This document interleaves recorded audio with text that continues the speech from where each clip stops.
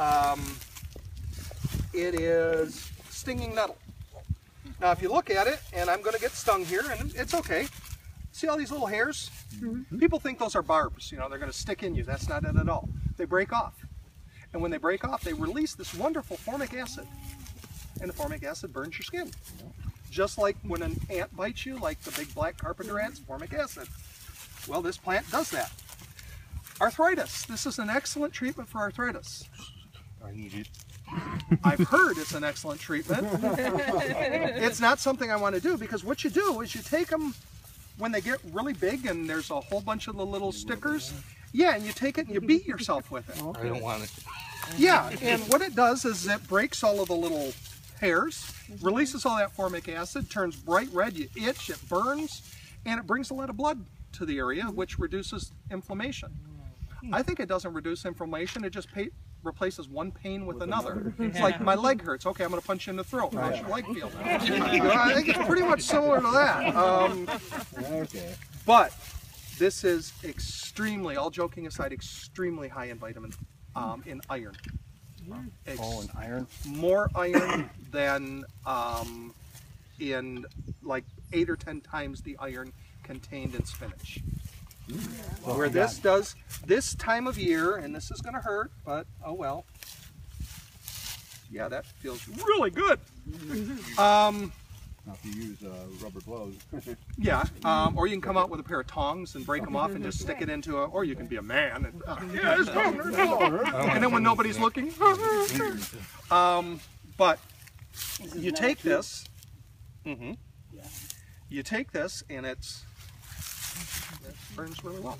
Um, the minute you put it in hot water, it dissolves those spines, renders the formic acid non-existent. It's no longer toxic to you.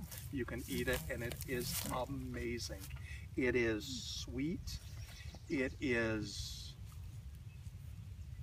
the flavor, you know what I mean when I say green, but green in the best way. Right. I love to take this. I take um, a quart of chicken stock, put it into a. I first take some a little bit of onion, take an onion, a couple of carrots, a couple pieces of celery, chop it all up. Put a little bit of olive oil in the pan, saute them just a little bit. Pour in my um, quart of chicken stock, a little bit of salt, and then add about a pound of these. Oh, wow. Oh, you let them cook for just a couple of minutes. They get tender. It is the best soup you've ever had, and it is extremely high in iron. Um, Dr. Vogel, uh, like 57 consonants, you know, Yeah. he like Steve dot dot dot dot, you know, all of it, but his last name was Vogel. He wrote, it's called The Nature Doctor, and he talked about um, people using this at the end of the winter when this first comes up in the spring and you're suffering from you know lack of uh, iron all year.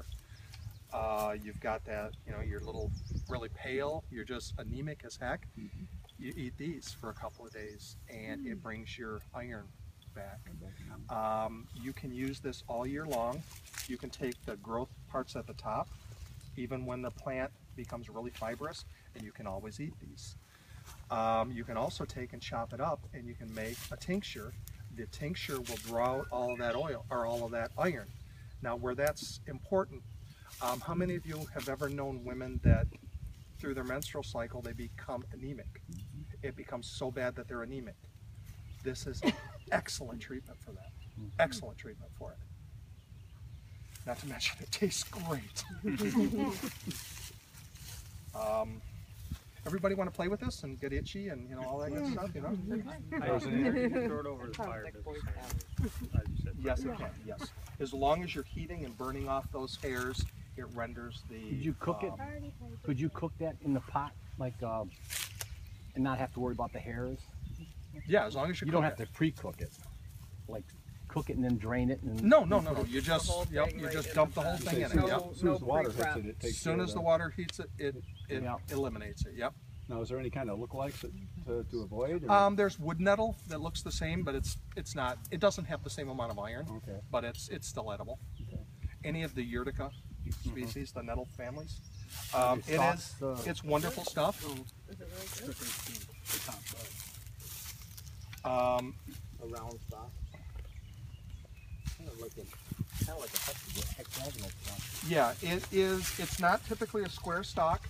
One of the things that this, as this gets older, it gets high and it gets pretty woody. Right. Um, it works as a great cordage.